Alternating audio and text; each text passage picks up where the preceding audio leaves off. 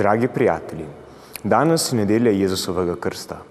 Od praznika Jezusovega rojstva sta minila šele dva tedna, vendar vemo, da je Janez Krstnik v Jordanu krstil Jezusa, ko je bil že odrasel človek.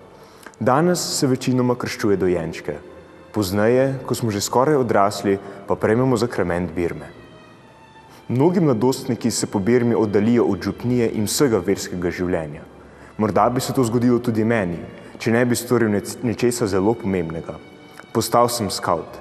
Seveda bi lahko cele dneve sedel za računalnikom in preigraval na stotine igric.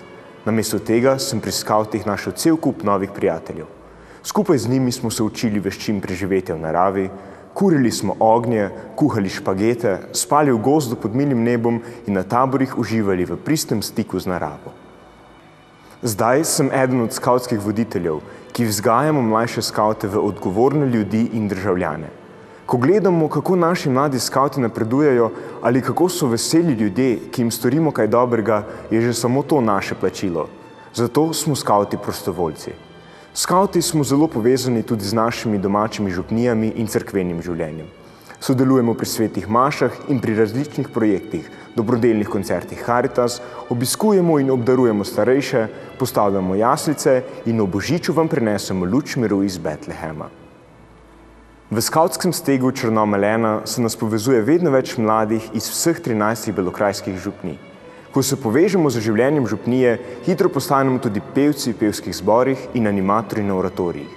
Med počitnicami nam zato starši včasih rečejo, da smo več župnišču kot doma. Tudi med šolskim letom, ko smo zaposleni s študijem po različnih krajih, smo vedno v stiku in po skautski metodi načrtujemo naša srečanja, ki so konec tedna doma v Beli krajini. Jezus je svoje učence poslal krščevati po vsem svetu, ker želi vse ljudi zbrati skupaj kot brate in sestre. En delček tega pobratenja smo tudi mi, skauti in skautinje. Kamorkoli pridemo, najdemo po vsej Sloveniji in po vsem svetu skaute, ki nas prejmejo s takim veseljem, da se posod počutimo kot doma. Skauti se med seboj res počutimo kot bratje in sestre. Starejši skrbimo za mlajše, mlajši pa poskrbijo, da nam nikoli ni dolg čas.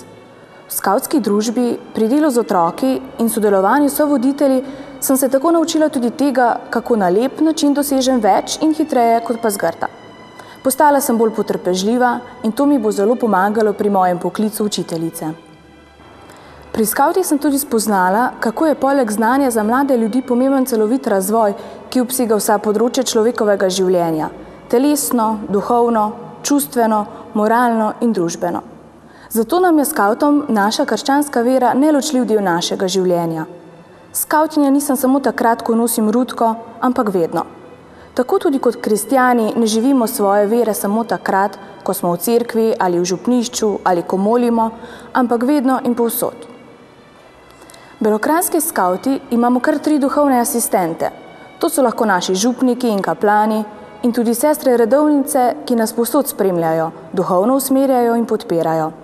Naša letošnja novost je, da skautski voditelji vsak dan prejmemo verižni SMS z enim stavkom iz svetega pisma.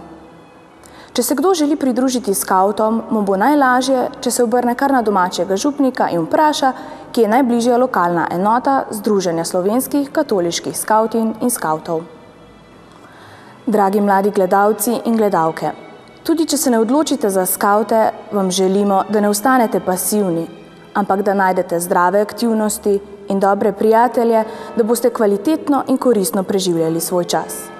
Tako boste postavljali trde temelje svoje prihodnosti in prihodnosti naše domovine.